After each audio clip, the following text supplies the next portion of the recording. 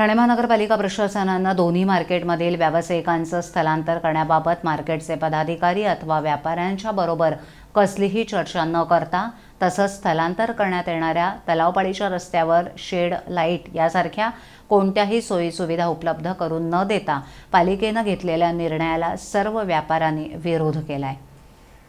Covid नाईन्टीनचा प्रसार रोखण्यासाठी पालिका प्रशासनाला लागणारे सर्वतोपरी सहकार्य करण्यास व्यापारी तयार असताना त्याबाबतचे कोणतेही नियोजन करण्याचं सोडून पालिका प्रशासन स्थलांतर करत असल्याचा आरोप व्यापाऱ्यांनी केलाय. नेताजी सुभाष पद जांभळे नाका बाजारपेठ येथील रस्त्यांवर बेकायदेशीरपणे भाजी विक्री करणाऱ्या विक्रेत्यांना पोलिसांनीच हटवून छत्रपती शिवाजी महाराज मैदानाच्या फुटपाथवर आणि भाजी मार्केटच्या आजूबाजूच्या रस्त्यावर पोलिसांनीच बसवलंय. सदर ठिकाणी मोठ्या प्रमाणावर गर्दी होते. त्या गर्दीचं खापर भाजी मार्केटवर फोडून दोन्ही मार्केट बंद करून स्थलांतरित करण्याचा निर्णय घेतला जात असल्याचा आरोपही केला जातोय.